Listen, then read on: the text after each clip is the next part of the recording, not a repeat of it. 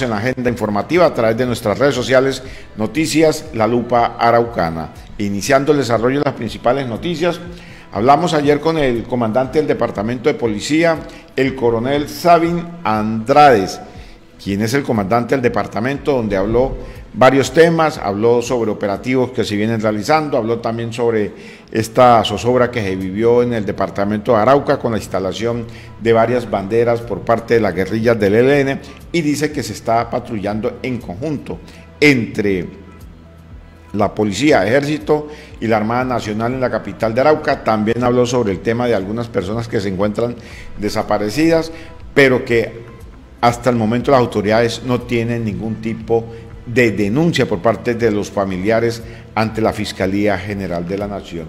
El comandante del Departamento de Policía de Arauca.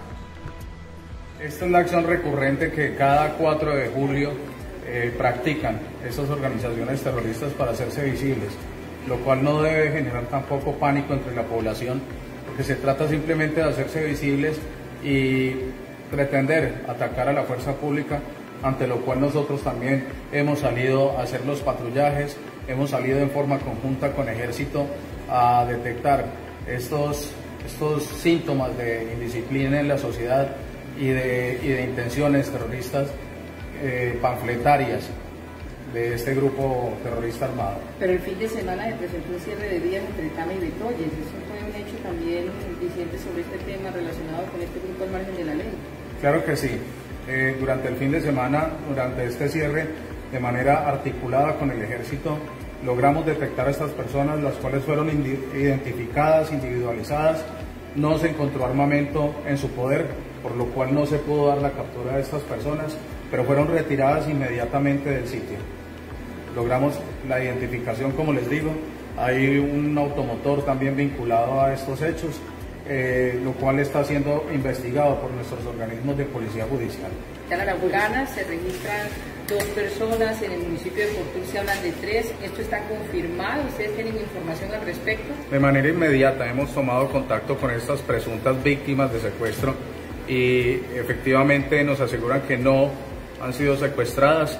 En el municipio de Portul nos hablaban de un comerciante y su familia, los cuales no han sido secuestrados hasta el momento. Tenemos conocimiento solamente por redes sociales de un secuestro eh, ocurrido, lo cual no hemos confirmado porque no pertenece al territorio colombiano en el estado Apure. Son las únicas informaciones que tenemos hasta el momento relacionadas con secuestro, que no es real lo que sucedió en Fortuna. Y en el caso de Arauca, porque de aquí en Arauca también se habla de una persona que desde el 20 de junio estaría secuestrada. Ya, de ese caso eh, estamos tratando de tomar contacto con las personas víctimas de este, este delito. Y estamos en la investigación y estamos atentos a la línea 165 de Gaula para toda información que nos puedan suministrar acerca de un hecho delictivo relacionado con extorsión o secuestro y de los operativos que se vienen realizando en diferentes sectores de la capital araucana. La policía ha venido registrando resultados sobre esos operativos, se ha capturado alguna persona con respecto a la verificación de antecedentes a través de quienes se movilizan en vehículos y motocicletas. Sí, de acuerdo a lo dispuesto por el señor gobernador en un Consejo de Seguridad Gubernamental, estamos haciendo patrullajes en conjunto con Ejército y Armada en zonas eh, zonas calientes, podríamos llamarlas así, dentro del municipio de Arauca, lo cual ha dado unos resultados eh, en materia de incautación de alucinógenos, eh, capturas y diferentes delitos que se cometen en la capital araucana. Y en las denuncias relacionadas en la Asamblea Departamental directamente en plenaria por algunos diputados, ¿se ha confirmado si es cierto que hay personas amenazadas en Arauca? De eso se dio un comunicado acerca de una amenaza existente por el presunto tren de Aragua, lo cual es completamente falso. Entonces, ¿cuáles son los resultados en estos momentos? ¿Cuál es el mensaje a la comunidad con este tema de inseguridad que se viene presentando, sobre todo en la capital del departamento? El mensaje es que la Policía Nacional está actuando con contundencia, de manera inmediata, oportuna, con una reacción efectiva, eh, dando con los resultados.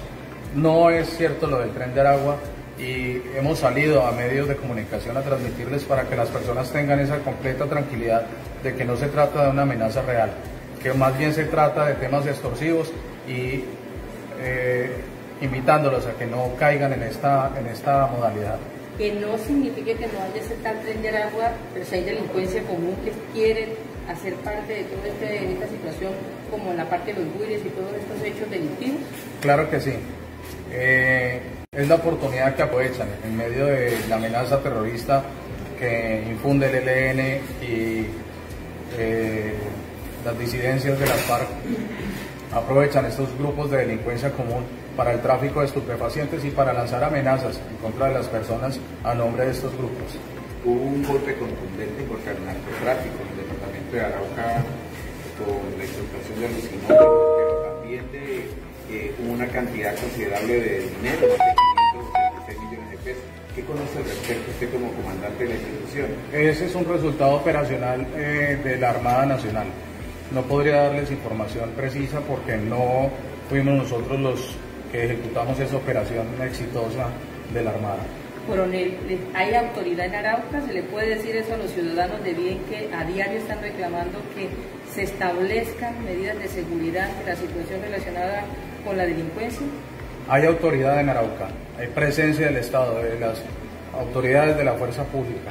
Estamos articulados, Fiscalía, Ejército, Armada y Policía Nacional para dar resultados efectivos.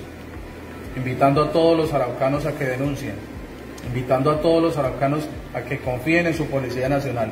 Somos cercanos, somos parte de la población araucana, somos araucanos todos. Ahí estaba el comandante del Departamento de Policía de Arauca, el coronel Sabin Andrades, hablando de varios temas que se presentan en esta región del país.